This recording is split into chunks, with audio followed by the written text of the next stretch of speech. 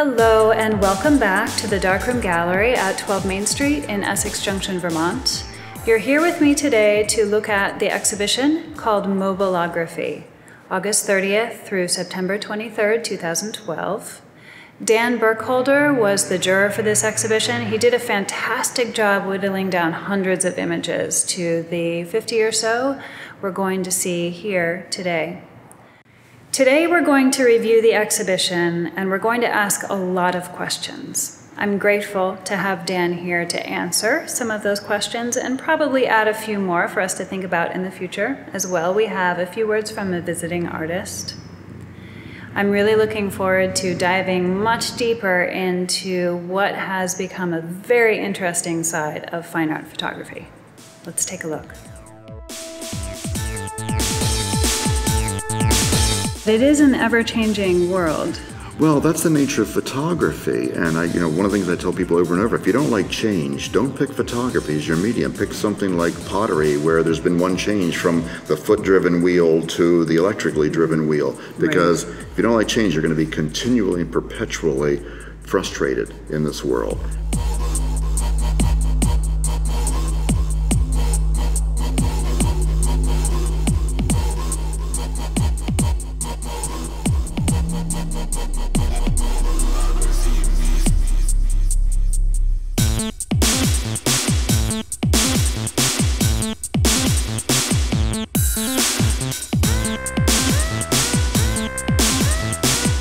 And now one of the things that's so great about this show is we're seeing this level of maturity instead of every image being heavily filtered. And we'll, we can talk some about like the uh, the juror's choice an image images has a wonderful palette of tonality.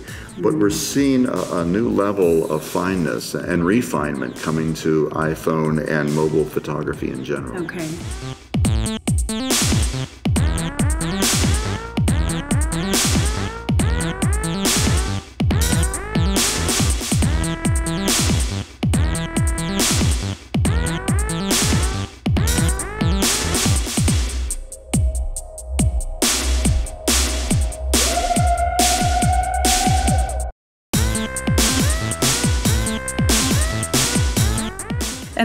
Are still sort of in the midst of an app fad, would you say, at this point? Yeah, and it looks like it's never going to stop. Mm. Um, you know, the pace, I'll do with my the graph of photography, since its inception like 185 years ago when Niepce made, you know, his first photograph, you know, the pace has always been about change. And the way we make images, the subject matter we pick, how we express the image has always been linked to the technology and the hardware, the chemistry, which of course is fading as a controlling element right. as we go from the classic era into the digital era.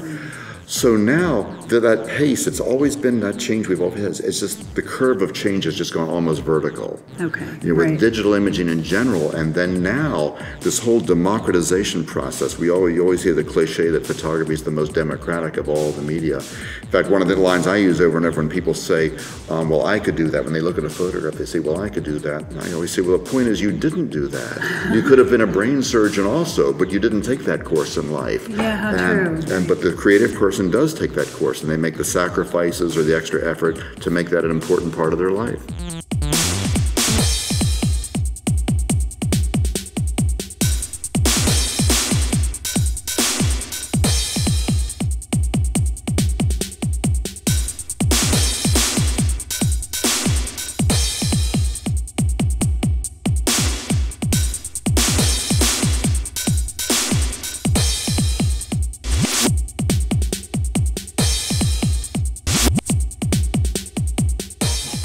You got to get stuff out of your system. People are learning this new medium with their Androids and iPhones, and we're we're testing the water for all the different apps. So once we get past, and that's one of the beauties of this show. This is one of the first mobile photography shows where you're getting that feel of that maturation coming. You know, the people are, they've tried all the things, they've, they've stuck their toes in the water of the different apps, they've decided which ones are serious for their style, and it's sort of like, you know, putting together your ideal workflow.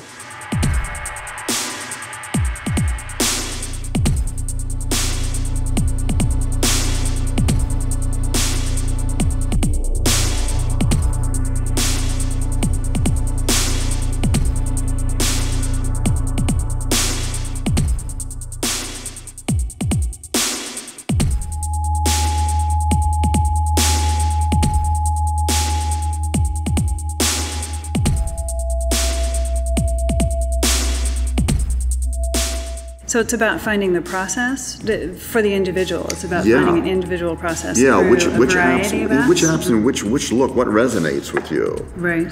You know, people used to say that, you know, they couldn't handle Photoshop because there were too many choices. So I said, well, you didn't, you know, these people that worked in the classic darkroom, you didn't walk in being completely overwhelmed by different developers and different toners. You had decided before you went in there, you had looked at work, what was kind of the look where you wanted to start? What work did you want to emulate? But of course, you know, overlaying your style on top of that. So you didn't have to learn every developer combination. You didn't have to learn every hardening or non-hardening fixer and whether you were going to use polytoner or brown toner or sepia or selenium. So it's not a question of knowing every app. It's a question of learning which apps will help complement what your voice is, what you're trying to say with the, with the medium. Right.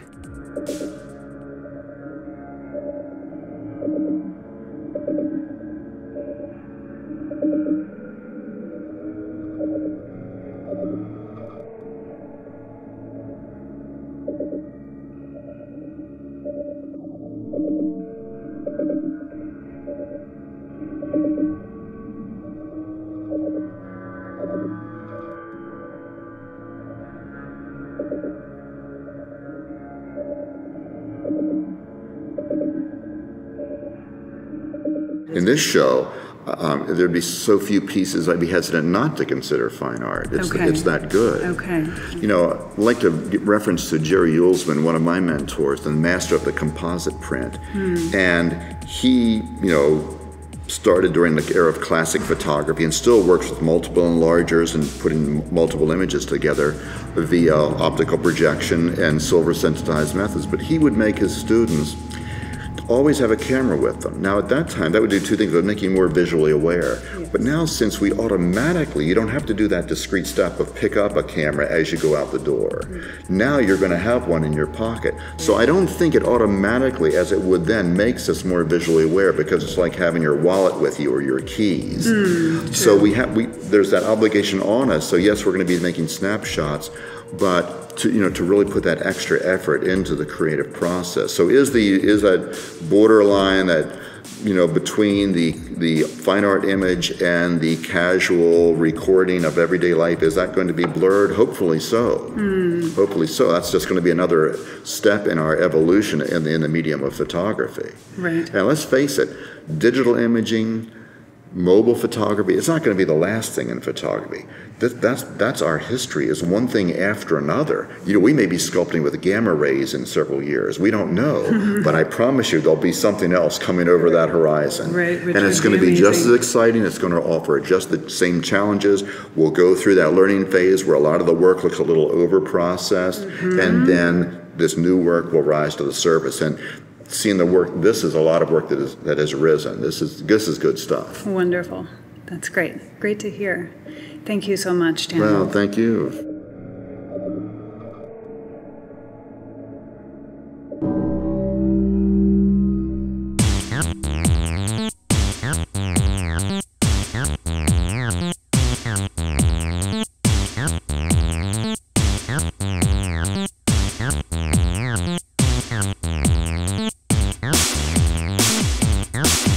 Thank